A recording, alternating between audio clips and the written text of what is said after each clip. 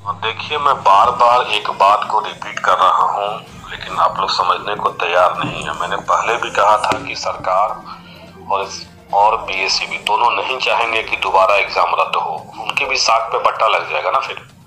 इसलिए दोनों ने काउंटर अच्छे तरीके से दिया है, अपना पक्ष मजबूती से रखा है। कोई मतलब आप लोग समझते हैं कि बिहार बोर्ड जानबूझ के केस हार जाएगा या कुछ भी तो ऐसा कुछ नहीं है।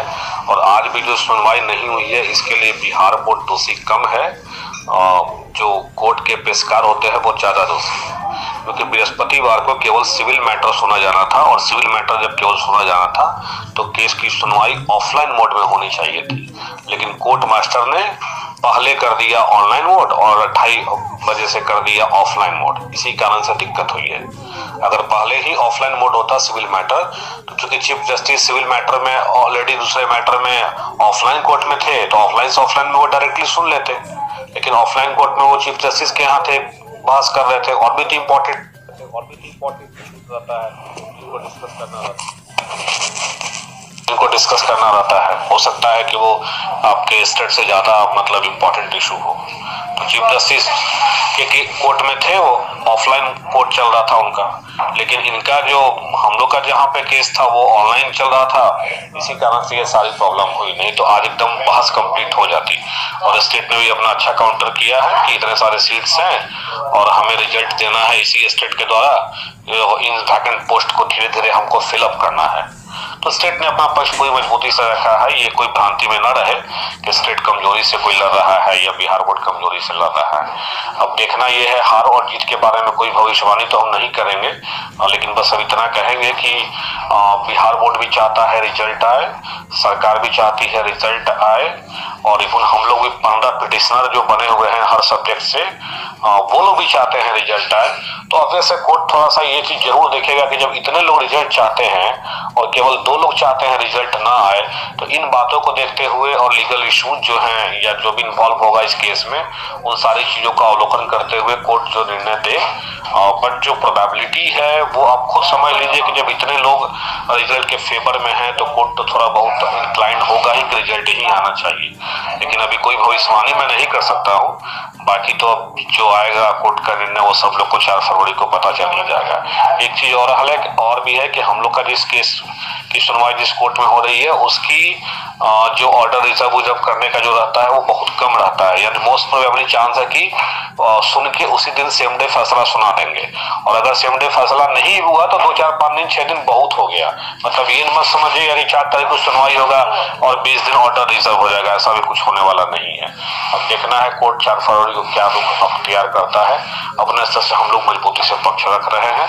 और जैसा काउंटर का उम्मीद हमने किया था कि ये ये point Bihar board sorry state government दे। स्टेट गवर्नमेंट ने ऑब्वियसली वही सारे पॉइंट्स को दिए हैं, जिस पॉइंट्स को हम लोग लेकर चले हुए थे। हम लोग थोड़ा सा लेट से काउंटर इसलिए फ़ाइल किए थे कि हम लोग चाहते थे कि स्टेट का काउंटर देखे, अगर स्टेट कोई पॉइंट छोड़ेगा तो वो हम लोग पॉइंट अपने मतलब मजबूती से देंगे। लेकिन चूँकि स्टेट ने काउंटर देने में काफ़ी लेट कर दिया, इसलिए हम लोगों ने अपने ही काउंटर में स्टेट वगैरह की सारी बातों को लिख दिया है। और देखिए कि एक संजोग है कि जो जिस बिंदु को हम लोगों ने रखा था कोर्ट में अपने काउंटर में, वही एक्सैक्ट पॉइंट लेके स्टेट भी चल रहा है। सो मोस्ट प्रोबेबली है कि चार फरवरी को जो पिटिशनर है, उनके केस खारिज हो जाने चाहिए। आप लोग समझने को तैयार नहीं है। मैंने पहले भी कहा था कि सरकार और इस और बीएससीबी दोनों नहीं चाहेंगे कि दोबारा एग्ज़ाम रद्द हो। उनके भी साख पे पट्टा लग जाएगा ना फिर। इसलिए दोनों ने काउंटर अच्छे तरीके से दिया है, अपना पक्ष मजबूती से रखा है। कोई मतलब आप लोग समझते हैं कि बिहार बोर्ड जानबूझ के केस हार जाएगा या कुछ भी तो ऐसा कुछ नहीं है। और आज भी जो सुनवाई नहीं हुई है, इसके लिए बिहार बोर्ड दोषी कम है।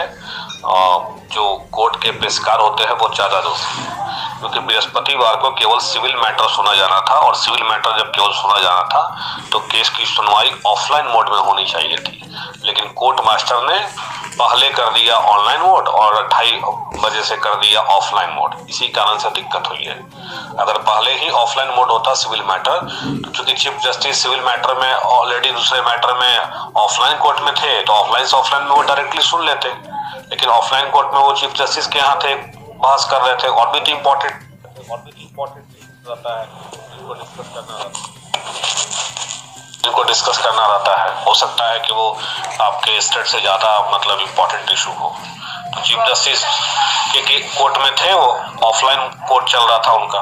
लेकिन इनका जो हम लोग का जहाँ पे केस था, वो ऑनलाइन चल रहा था। इसी कारण से ये सारी प्रॉब्लम हुई। नहीं तो आज एकदम बहस कंप्लीट हो जाती। और स्टेट ने भी अपना अच्छा काउंटर किया है कि इतने सारे सीट्स हैं और हमें रिज़ल्ट देना है इसी स्टेट के द्वारा। इन वैकेंट पोस्ट को धीरे धीरे हमको फिलअप करना है। तो स्टेट ने अपना पक्ष पूरी मजबूती से रखा है, ये कोई भ्रांति में ना रहे कि स्टेट कमज़ोरी से कोई लड़ रहा है या बिहार बोर्ड कमज़ोरी से लड़ रहा है। अब देखना यह है हार और जीत के बारे में कोई